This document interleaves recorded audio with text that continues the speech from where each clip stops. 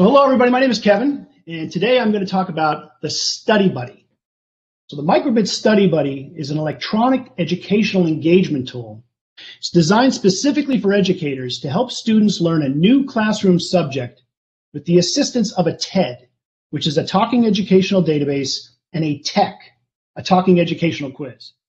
So let's present a project hypothetical. You are a history educator and are about to teach your students the 50 state capitals of the US, to which we are going to utilize the micro:bit to integrate into your curriculum. We are going to utilize the micro:bit or MicroPython version 2 web editor to interact with our micro:bit. For the sake of time, I pre-populated a database with the states and their respective capitals. There is a detailed tutorial that will show you how to do this step by step at a later time, and the links will be provided in chat. And now for the star of our show, let me switch the camera here. All right. Hello, my name is Mr. George. It is so great to meet you all. I am excited to help you change the world. Well, thank you, Mr. George. Thank you, Kevin. So we're going to directly interact with the micro:bit. This is an opportunity where the student in a private space can interact with the talking educational bot for as long as he or she wishes. This interactivity will help the students solidify the curriculum being taught in a way that has never been done before. Let's ask the bot what the capital of Pennsylvania is, for example. The capital of Pennsylvania is Harrisburg. Great.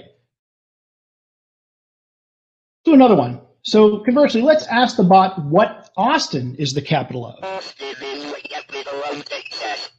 Okay, in addition, a student can interact with a fill in the blank quiz or a multiple choice quiz. For the sake of time, we're going to do a three question short multiple choice quiz to show the power of this device when it comes to connective engagement learning.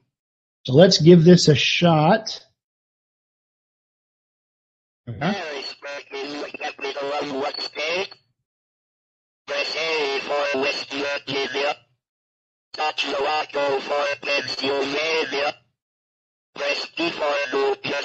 This is an easy one. I think it's Pennsylvania. You selected Pennsylvania.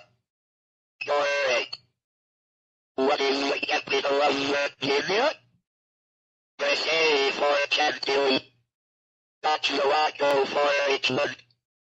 Press B for Arlington. I have a pretty good idea. It's Richmond. You selected Richmond.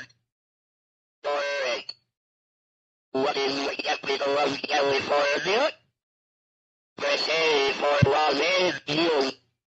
Touch the logo for San Francisco. Press B for Sacramento. Ah, I'm not sure. Uh, San Francisco, maybe? You selected San Francisco. The correct answer is Sacramento. You got two out of three correct. You are doing a great job. I would love for you to try again. All right. Well, thank you, Mr. George. Do you have anything else to uh, say to everybody before we leave? It was really nice to meet you all. I am looking forward to working with each of you. We are going to change the world. Join Kevin and I as we will take you on your MicroPython journey together with a free MicroPython course. Today. Let's do this. Thank you. Thank you, Mr. George. Well said. If you have any questions, reach out to me at any time, kevin at mytechnotalent.com. Thank you all for your time.